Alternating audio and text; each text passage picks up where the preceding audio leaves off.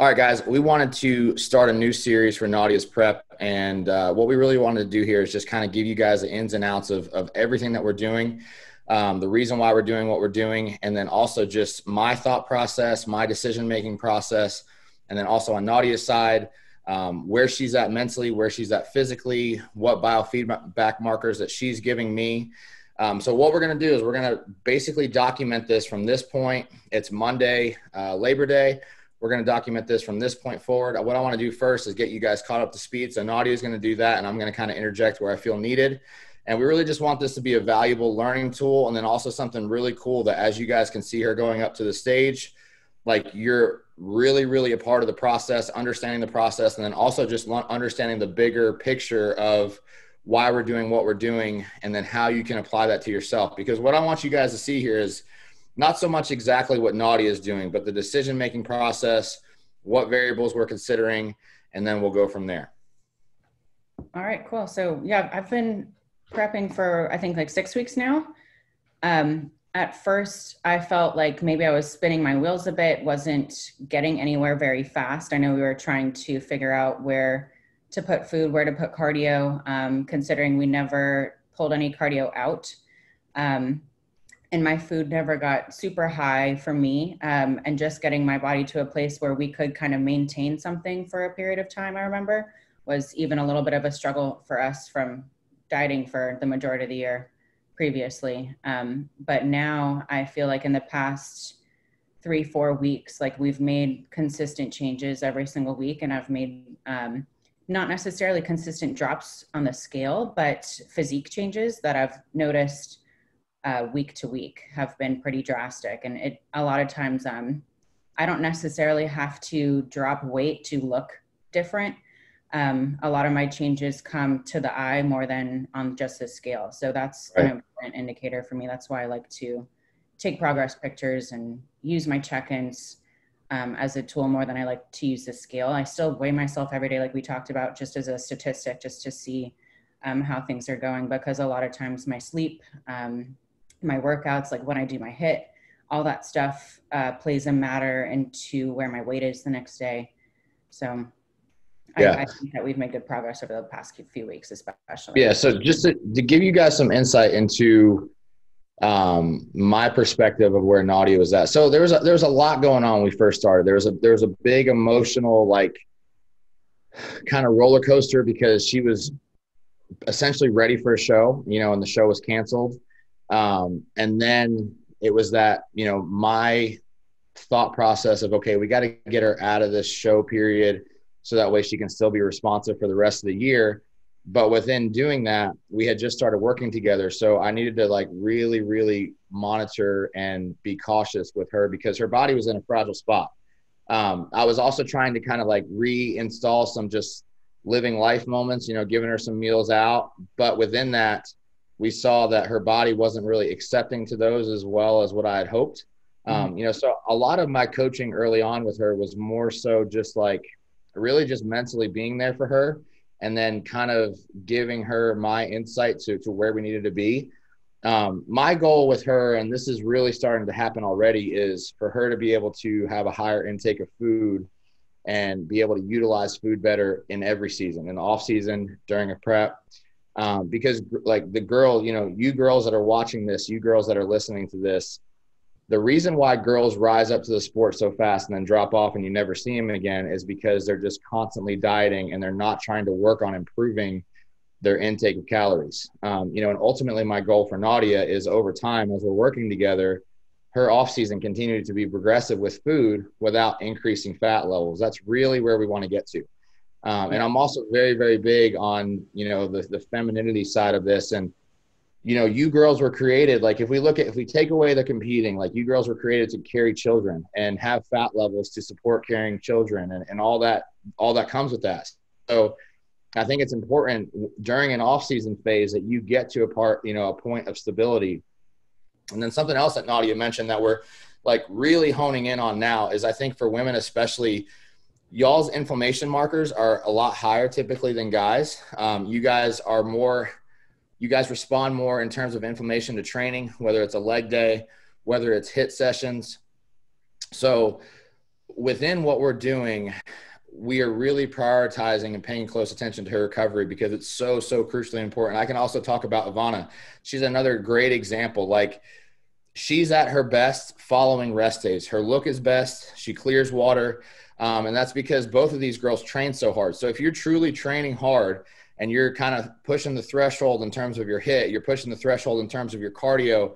Obviously, during training, like you're going to have a higher inflammation response typically than what I would say the average male does, just because I think our body handles it a little bit better. So that's something else you really have to be cautious about. And if you guys are, or girls are going through phases where you feel like, you know, you're holding more water or um, you're not changing as fast as you are and, and you feel tired, like really make sure that you're implementing rest within that, that period of time. Um, also, yeah, something I think is really, really important is that you have scheduled rest days. Yeah you know, because that low I hit this morning was after the rest day. Go ahead. That low I hit this morning was after no cardio, no training yesterday. Yeah, yeah.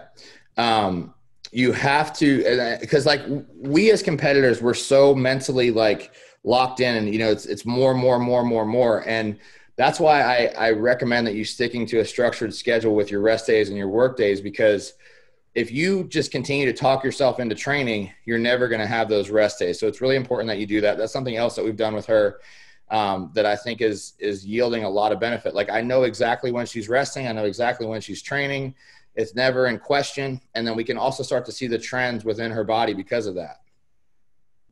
Do you want to talk about like this week specifically? Yeah, this week this week specifically was a bit tougher on me. Um, from like a recovery standpoint and output standpoint um, my workouts were feeling a little bit more difficult um, i wasn't necessarily hungrier but i could tell i was a bit more fatigued a little bit more drained and i keep that in mind with the fact that other variables outside of that are the same like my sleep hasn't changed my diet hasn't changed my cardio is still the same.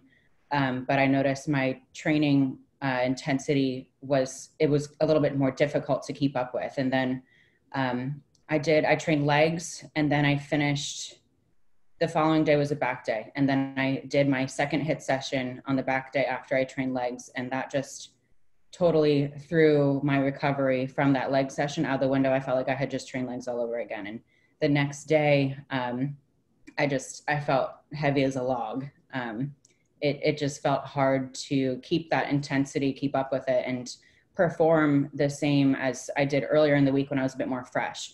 Because um, in my split, I have um, the last day is a leg day, and then I go into the beginning of my split, day one being my back day, and day two being my shoulders, and day three again being that leg day. So by the time I get to that third leg day, I'm pretty toast. Um, right. That that um, that fourth day in the split, that leg day is was pretty tough for me on Saturday.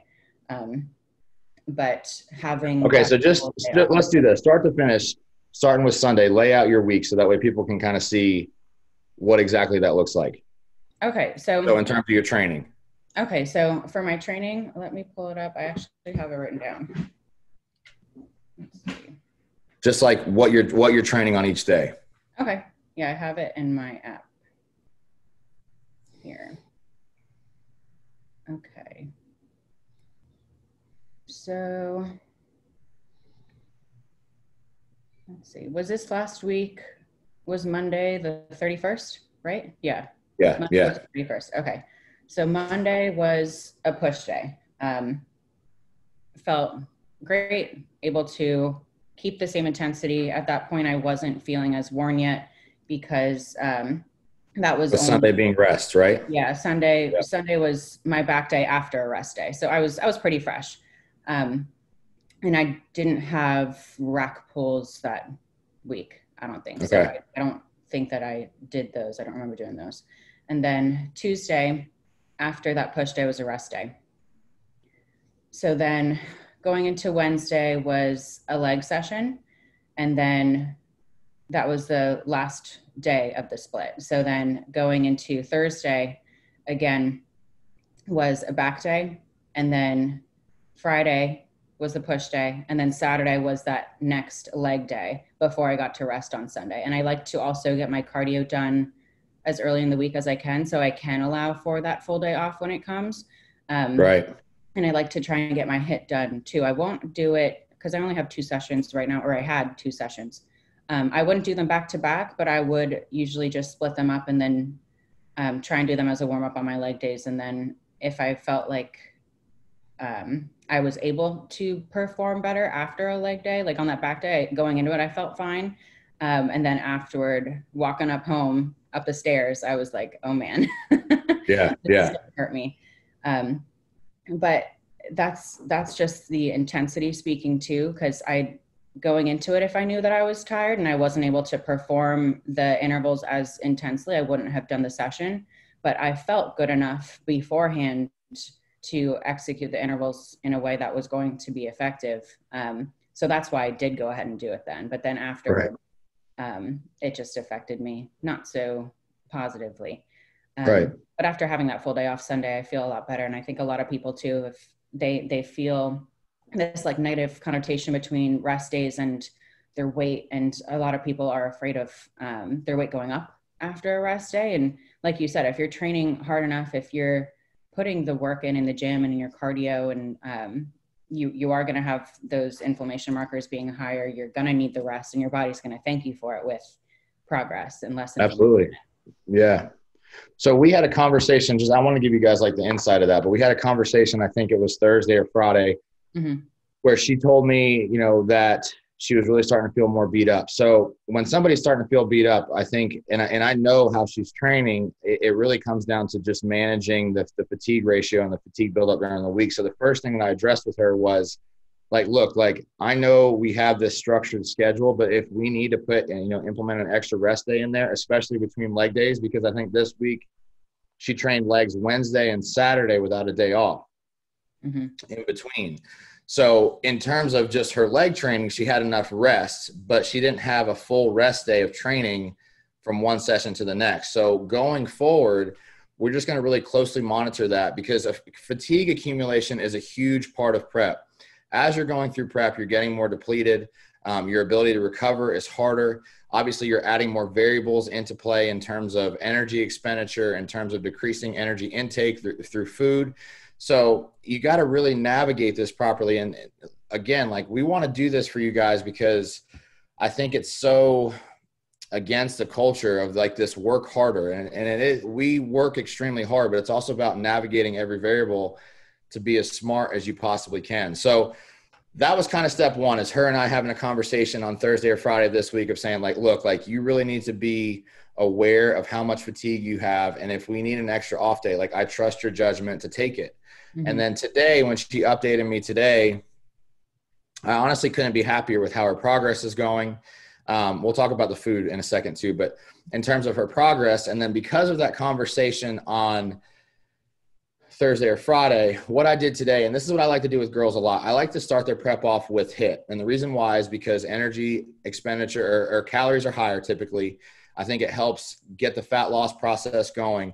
But then as the prep goes on and the more depleted the athlete gets through prep, especially with females and talking about inflammation, which HIT causes, I like to pull back. So because of her conversation that she had with me Thursday, I pulled back HIT to one session and we're going to see what that does. And I'm going to probably quickly just cut it out completely because I think it's really got that fat loss ball rolling. That way we can now just kind of transition to steady state cardio.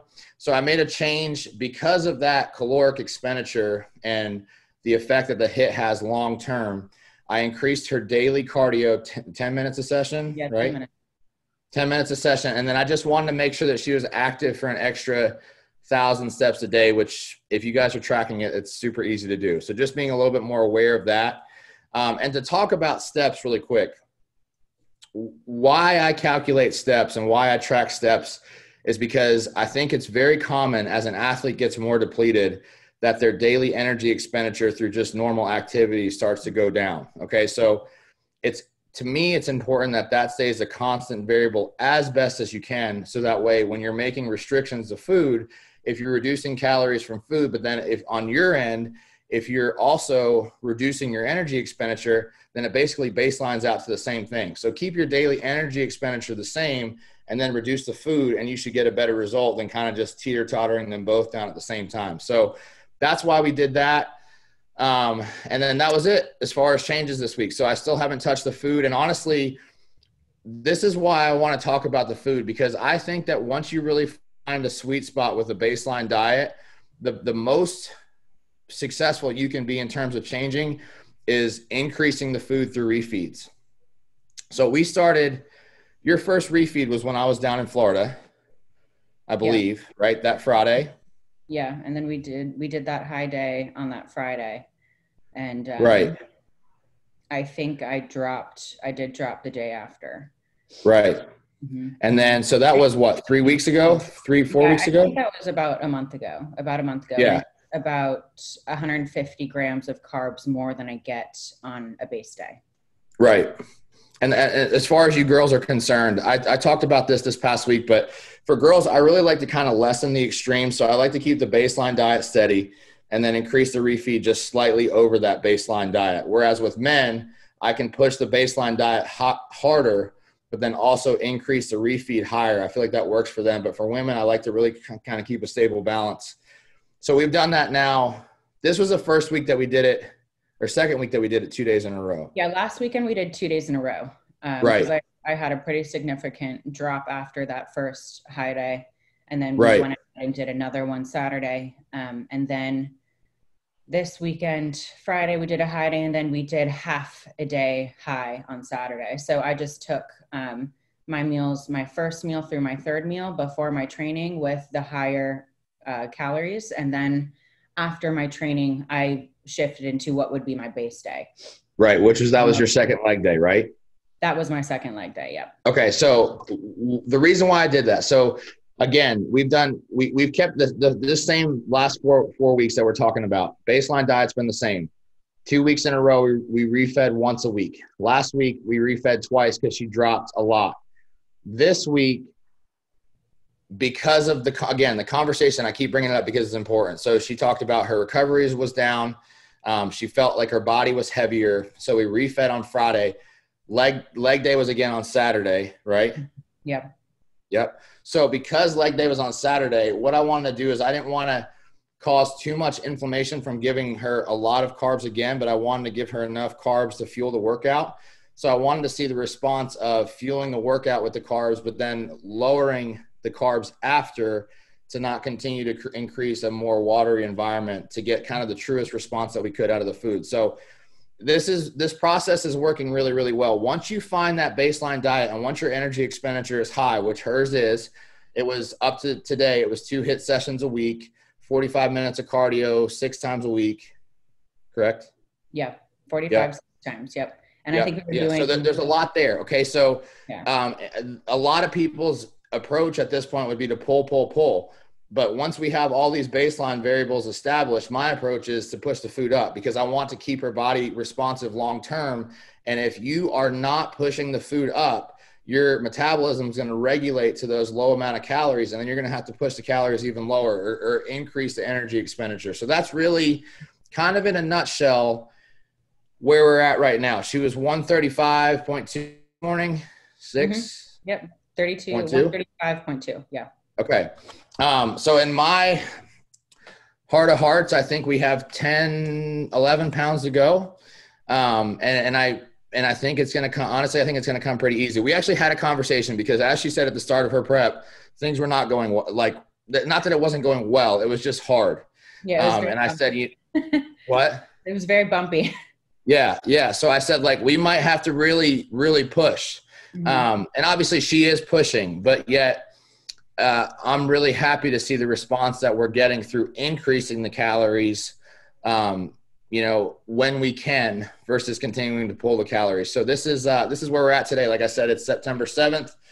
Um, we want to give this to you guys every week. What I think is really important is that we're interacting with y'all's questions. So as you guys watch this video, please comment you know questions and give us context to those questions. If you have specific questions about yourself we're also going to be doing a q&a segment so i want to be able to answer those and address those um, and then go from there. And then last thing i want you to talk about and this will end it after this is like where are you at mentally?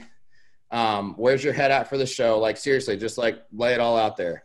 Okay well i can get really into that. Um, Well, I'll rewind to last year after Junior USA and not continuing to pursue any competition after that, um, which looking back, I'm glad I didn't because I wouldn't have made the progress I have and I wouldn't be here now. Um, but I did feel watching the girls that I did beat in my class go pro.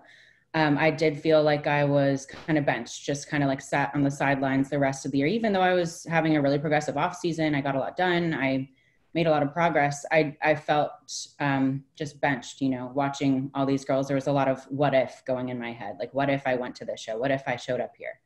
Um, and then now, after having prepped from December to May of this year with my shows being postponed, it was the same feeling again. So that's where mentally I was a little bit beat up, and where having your support in that and your understanding in the beginning of when we started working together was really, really great. And just really appreciate that so much because you knew the toll that it had on me. And then now going into this show, into NPC Nationals, um, having that time between where I didn't keep pushing and keep running myself into the ground, um, I feel refreshed. I feel um, mentally just relaxed and calm, and there's no anxiety in me regarding showing up in Miami in 10 and a half weeks. Um, it's um, it's just a matter of me being ready to get up there and do what I love doing again, and um, just being grateful for everything not working out